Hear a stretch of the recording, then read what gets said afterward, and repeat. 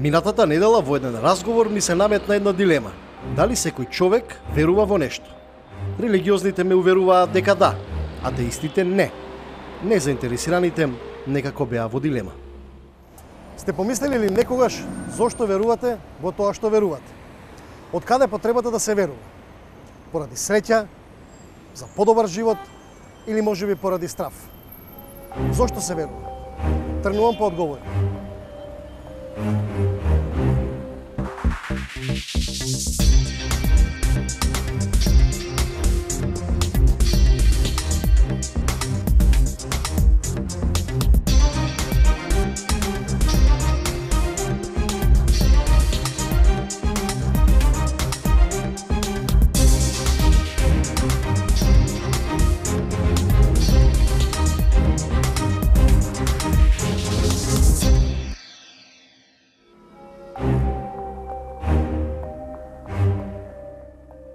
Да веруваш значи да го прифатиш како вистинито некое тврдење без негова проверка, честопати и без логично расудување и заклучување. Едноставно верувате и тоа е тоа. Така некако јас го разбирам терминот верба. И тој некако најмногу ми се поврзува со религиозните учења. Затоа одам прво да дознам зошто и во што веруваат христијаните, а во што муслиманите. Ме чекаат двајца еминентни теолози од кои верувам ќе научам нешто ако верата се или верувањето во Бога се сваќа како венератија витае, значи како еден извор за животот, како како тоа што му дава смисол, бидејќи Сартер, знаете, тој вика дека ние сме предодредени однапред да ја сфатиме недо, недомисленоста, значи нес, несмисленоста во, во светот. Значи тоа не е крајна цел. Меѓутоа, според Виктор Франкл или според исламските концепти, ние што викаме куранските, верувањето во Бога ги чисти сите е, вака е, тие суштински е, работи кои или дилеми кои ги има човекот. Бидејќи знаете зошто? Верувањето во Бога не е само страх Тоа е страхопочитување, ние викаме. Меѓутоа, страхопочитувањето јас го разберам вако. Ако некого го сакате многу или ако нешто сакате многу, припазувате на секој ваш ваш корак, корак. Што, и однос кон него. И однос кон него и сте врло предпазливи. И затоа човекот кон Бога да ја искаже својата љубов или својата поврзаност, секако е многу предпазлив. И тоа страхопочитување според мене човекот го ослободува од сите други страхови. Вие знаете, денеска човекот да гледа во патот една црна мачка, одма мисли, аха, вова може вака да ми се деси. Со верувањето во Бога све се расчисти. Значи теренот е чист и човекот нема да нема потреба да мисли за еден, не знам, црн петок, 13 и петок 13 или не знам вторник или кај нас да да кажеме луѓето што што имат некои вака верувања безсмислени. Суеверни. Да суеверија. Е, тие секогаш, значи, не можам да патувам во вторник, не можам да одам на ова, не сакам да го отворам дуќанот овој ден или првиот ден. Значи, тие се тие стра, страхови кои доаѓаат од од мањкавоста или што што фали ако фали верувањето во Бога, тогаш тоа се заменува со други страхови или со други некои врски е, и, и тие се безмислени заправо.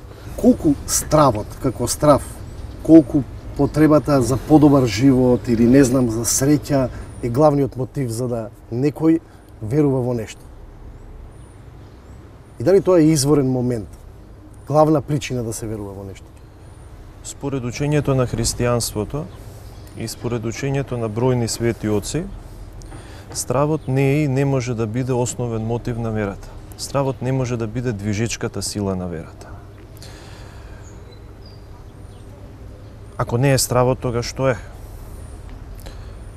Повеќе свети оци, меѓу кои што е свети Григори Богослов, свети Јован Лествичник, свети Василий Велики, повторно свети Никола Кавасила, зборува дека постојат три нешта што можат да не мотивираат кон христијански живот.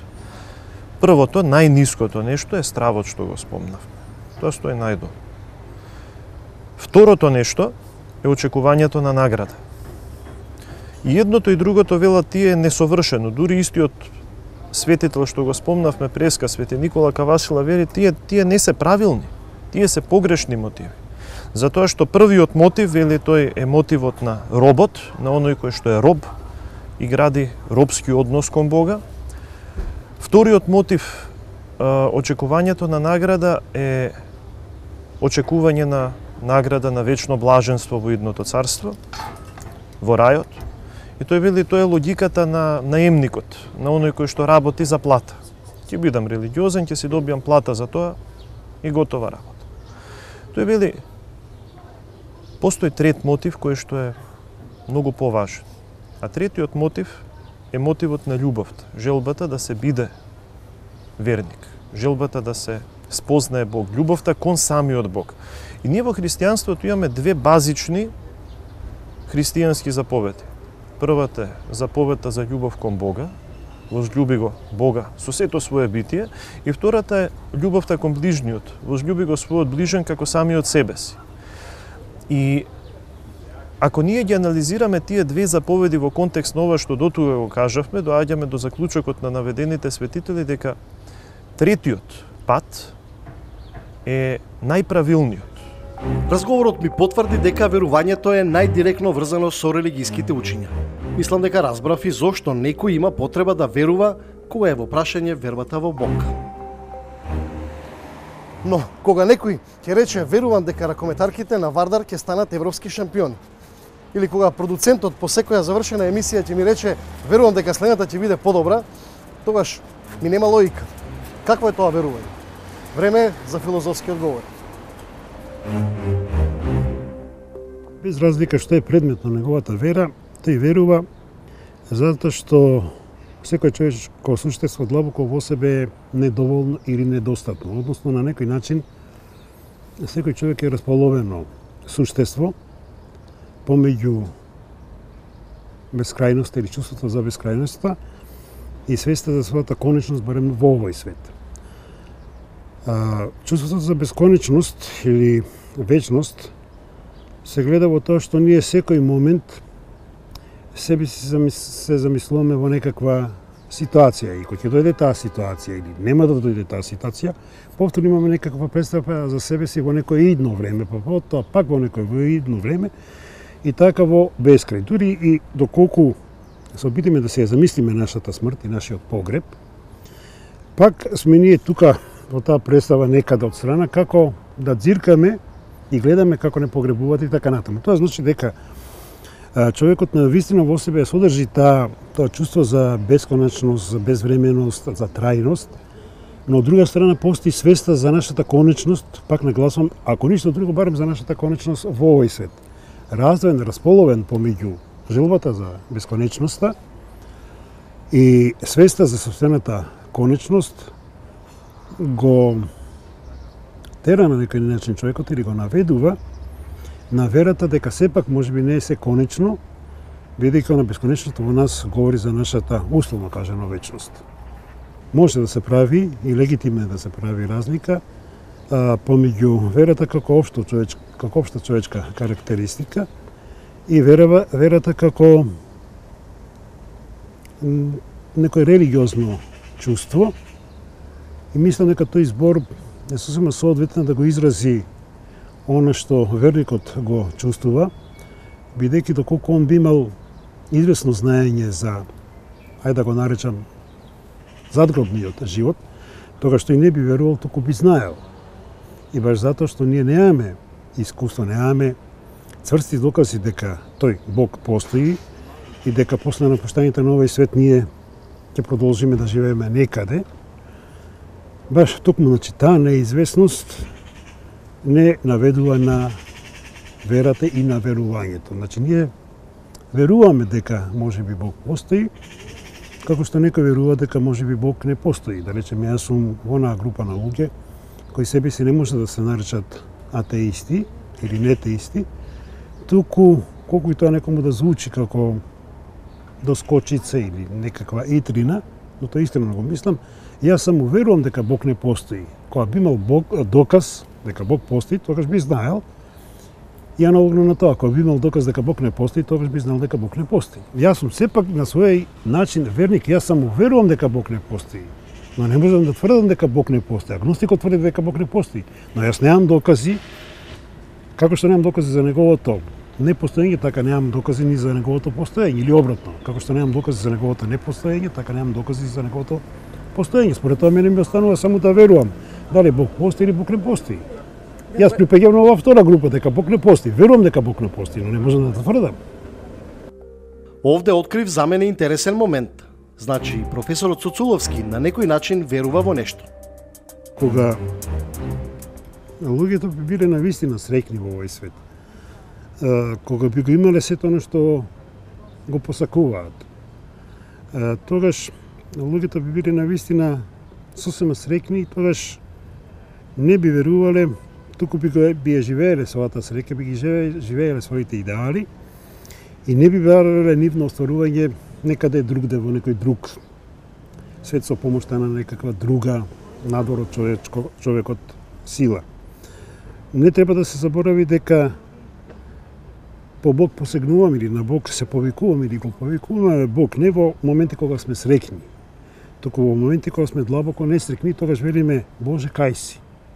Дури може би најзакоравените атеисти, оние кои никогаш може би во својот живот а, не го признавале неговото постоење, барем еднаш во животот си го, си го поставиле прашањето, а што ако Бог постои или го повикале во тие тешки моменти, како што мислам, и скоро сум убеден во тоа, нема ниту еден верник кој барем во еден момент не се запрашал дали на вистина Бог постои. Тоа се тие тешки моменти кога и самиот верник паѓа во искушение дали постои предметот на неговата вера. Разбрав дека филозофските погледи прават разлика меѓу верата и вербата, како и разлики меѓу верските институции и верувањето во Бог. Сега сакам да откријам како изгледа верувањето низ призмата на психологијата на личноста. Убаво е кога некој човек ќе најде во што да верува и тоа во што верува ќе му помогне пооптимално да го одживее својот живот. Значи, секој има право да одбере а, во што ќе верува, кој ќе биде неговата звезда водилка, да кажам, во животот. А, обично тие верувања потекнуваат од зависно од средината кај што е роден, кај што пораснала личноста, од влијанијата од околината, од нивото на едукација, од интелигенцијата, значи од многу многу елементи за да се дојде во што човекот ќе верува. А и ние како психолози, значи не сме тие што треба да се мешаме, а, и се води големо внимание, барем јас во мојата работа, да не случајно им е, се направи грешка им се одземе дел од тоа верување, затоа што многу е важно во што личноста верува. Значи, личноста не би смела да остане без некоја верба. Тука видов дека верувањето е врзано со личноста на човекот, со неговата функционалност во општеството. За психолозите, верувањето е растеглива категорија и тоа опфаќа многу повеќе од теолошкото телкување на верувањето во Бог. Тоа значи дека некој може да верува и за среќа. А велат, среќата е најважна за квизовите и за игрите на среќа. Ајде да видам во што веруваат квизнат преверувачите.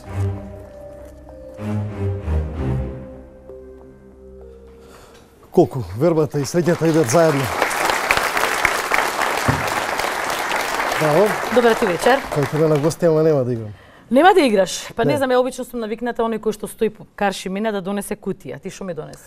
Ја дојдов да ми одговорат е, твоите е, играчи, преварувачи, а можеш за почеток е, и ти Да ти одговорам на да, прашање. дали веруваш во нешто и во што? Првин, искрено, колку сам обединствено да ти звучи тоа, верувам во себе. Верувам во себе и во своите способности и во своите можности, така што до сега никош не сум се, да речем, излажала. А втора работа во која што верувам е енергијата. Затоа што според, не само се според мене, меѓутоа тоа ја се зборувам нели во свое име, сметам дека се е енергија. И работејќи го ова сега конкретно шоуто кое што веќе шеста сезона нели оди на на Сител, или нешто, сватив што значи добра и што значи лоша енергија. Значи, не значи дека некој тука дошол нели лут или нервозен и сака намерно да има негативна енергија, тука едноставно тоа е нешто што секој човек го поседува. После некои снимања ми се случува после три снимања, кога имам добра енергија со некој надпреварувач, односно надпреварувачот има добра енергија, јас чувствувам дека можам да снимам па уште три емисии. Уште три. Така е. А некогаш после првата емисија сум се чувствувам како исцеден лимон. Така што тоа ми е уште еден доказ колку сум во право. Дека навистина се енергија. Некои специфични примери од а, овие години шест поминати од луѓето кои што доаѓаат овде а, за спој меѓу среќата и вербата. Веруваат во среќа, веруваат во своја мајли, Така, веруваат во се што, се што, се што видов, точно е, сите овие овие шест сезони. Да, јас не сум една од оние која што верува во емајли, ниту сум имала никогаш, ниту ќе имам.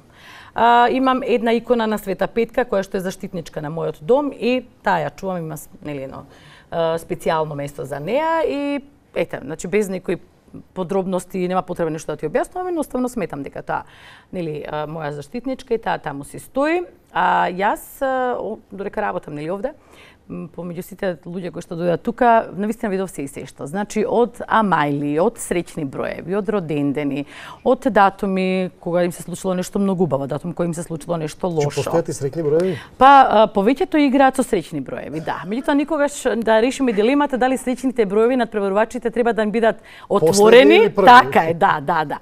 Ја сакам да прашам, има некој да, денеска мајлија со себе? Кој има Амајлија? Јас? Да. Игор има Амајлија. Еве, Може да покажеш? Може. Амајлија ми е ова стрекна еден чип од Легранд Казино, едно евро. зошто ти е тоа се? Секогаш го носам, кога играм, кога одам со него, секогаш ми остана у джеп, никогаш не останува потрошено, а добивам некоја добра сума на пари. Веруваш во тоа или веруваш во Бог? Верувам во бројки, Во бројки? во бројки. Пример 21 бројот ми е среќен број, ме прати сегде ми се појавува и све што се случува ми е среќен број. А веруваш во Бог? Верувам нормално христијан си. Како Нормално. може тоа спојот Бог и бројки некако не одат заедно? Па не идат заедно, ама такви сме ние луѓето, си веруваме и во Бог, и во бројки, и во све што ќе си помислиме дека ни носи среќа.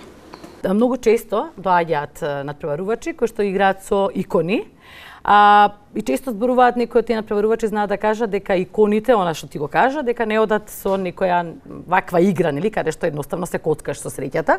Меѓутоа, како што рече Игор, сите имаат различно мислење, некогаш им помага, некогаш не. А Некој го- банкарот верува во нешто?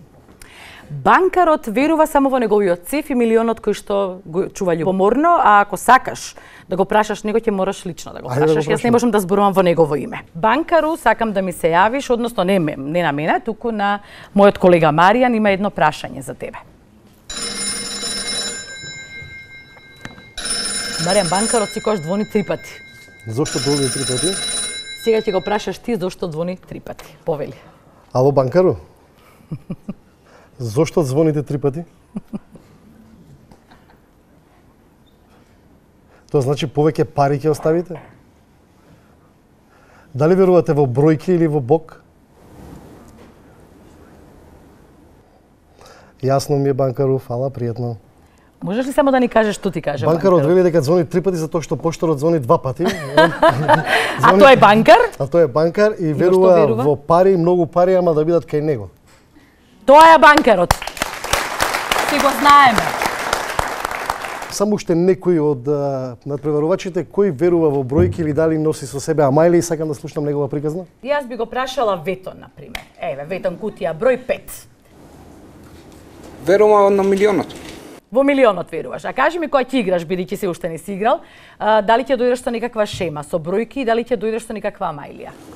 Не, во животот мој ми служела среќа секогаш. Мислам дека пак ќе ми служи до Ти Јосе? Амалија немам и јас. Немаш. Да, али верувам во Бога.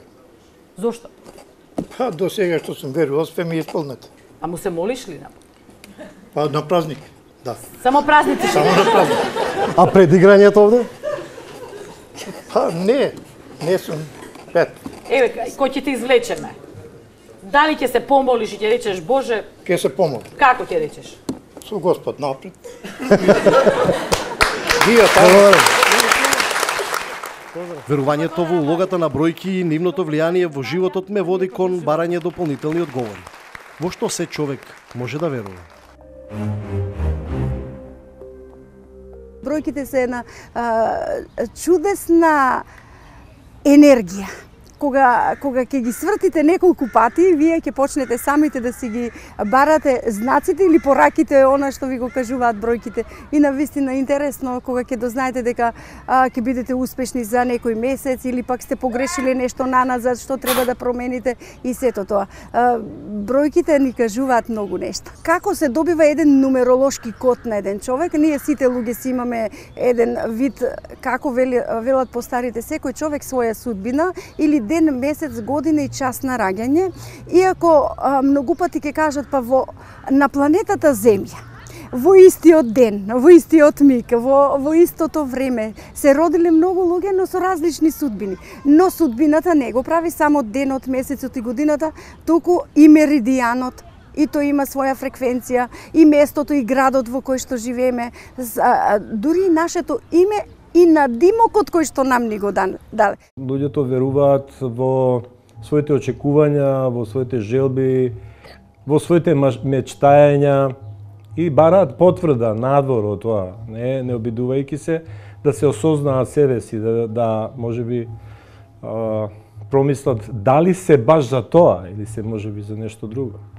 Току, тие по инерција на своето воспитување, односно програмирање од родителите, најчесто, бараат нешто да им се овозможи најчесто тоа го бараат прво од своето семејство, не ми помогна, ми помогна, родителскиот овај фактор. После бараме тоа од поширока од општествена овај заедница, од државата, не ми овозможи, ми овозможи. Ове ден денеска слушате, не, нема вработување, кога да државата треба некому да го вработува. Не треба, треба да му даде шанси да се вработуваат сега, ама сите чекаме некој друг да не го направи и на крајот на краиштата сега ќе се упатиме кон Бога, значи од Бога очекуваме благослов нешто да направи во однос на нас или од звездите се едно. Е, сега вистината е маце поинаква а, кога ќе се соочиме со вистината, таа е секогаш болна, болката луѓе не, не ја сакаат, имаат се се разочарани. Најголем дел од луѓето кои што се обидуваат и духовно да се разбудат се оние кои што а, имаат нарушено здравје и кои веќе го имаат искуството со медицинскиот пат на разрешување на проблемите и не сите проблеми можат на тој начин да се решат, па откако ќе го исцрпат, значи конвенционалниот начин преку класичната медицина или алтернативната медицина, се обидуваат да го активираат тој интерен духовен аспект. Имаат одредени предзнаења Значи, луѓе кои што веќе се интересираат дали преку некаков вид на духовна литература, не нужно преку класичните религиозни системи. Сега интернетот е доволно транспарентен за да побуди интерес и за тој духовен аспект. Ние по природа а, имаме два аспекта, физички и духовен аспект. Но едуцирани сме само да го перцепираме со помош на ординарните сетила нашиот релативен аспект, материјалниот. Ако можам да излечам еден заеднички заклучок, тој би бил дека човекот во секојдневниот живот функционира верувајќи во многу работи. Во луѓе, во идеи, бројки, наука и во Бог. Последната дилема ми е дали медицината може да открие од каде доаѓа вербата или да го пронајде Бог во човековиот ум. Побарав разговор со невропсихијатар. Многу тешко прашање и мислам дека одговор не може да ви даде никој моментално во светот. Верувањето е една интелектуална операција на мисловниот дуктус, на мислата, на рациото, на, на емоционалната интелигенција на една личност да сите во светот. Као што постојат многу други интелектуални операции. Све зависи од психопрофилот на една личност. Све зависи од тоа што таа личност во текот на животот успеала да стави во себе и да матурира или да остане инматурирана. Со, со македонски зборови созреана или несозреана. Затоа што како атрибут на незиниот мисловен процес е верувањето. во било што, дали сакате религиозно верување, дали верување во некаква идеологија, верување во некаква хипотеза, теорема, теорија и така натаму и така натаму. Значи, тоа е, тоа е интелектуална функција Професорот Чепреганов ми откри дека медицината со години се обидува да најде одговор за моето прашање. Развојот на технологијата последните 30 години активирал многу американски научници. Најкарактеристични биле истражувањата правени меѓу тибетските монаси и нивниот специфичен начин на живот. Кај тие монаси нашле дека амигдалата е поголема, волуминозно, као структура, као јадро, од сите други. И било се прашањето зошто? Затоа што нормите нивни на однесување биле сосема подруги од сите други. И таа инкорпорација направила да тие имаат значи особината на градуација на интуиција да биде многу поизразена и да секаков стрес од надвор на некој начин го одбива. Немој професор пати го спомнам у Париз, ја, ја, јас му поставил ова прашање што ми го вие поставите мене. Тој вакав одговор, тој се насме и ми даде вакав одговор. Монасите имаат очи, ама не гледат тоа што не треба да го видат. Имаат уши, ама не слушаат тоа што не треба да го чуат. Ти имаат своја идеологија, ти имаат свој норми, свој јас и они работат исклучиво на своето јас. И затоа нивната амигдала е поразвиена од сите други. Затоа што таа не прима се и се што, таа прима само тоа што што тие сакат да го примаат. Иако верата и медицината за мене се диаметрално спротивни, сепак бев изненаден од ставот на професорот за позитивното влијание на религиозноста врз човекот. Нормите социјални, морални и етички на интерперсоналните односи меѓу луѓето се филозофијата на нашето постоење. Тоа религијата го искористила као 10 Божи заповеди. Тие ако ги вие имате во вас, вашиот однос со сите околу вас ќе биде издржан, ќе биде нормален, ќе биде еу, како викаме ние, еу е израз војно равновесие Нели не ЕУ за Европа, него е, ЕУ за нас значи равновесие, значи една една а, состојба во која односите нема да бидат понеметени. Апсолутно, апсолутно се слагаме со тоа дека има огромно влијание и огромна корелација, е, координација, е, взаемност која е многу присутна али нема фанатизам. Јас, јас сум религиозен човек. Јас се почитувам религијата во тој однос. Значи, тоа да му биде некој дека има рај и така да тоа малку не може да се биде.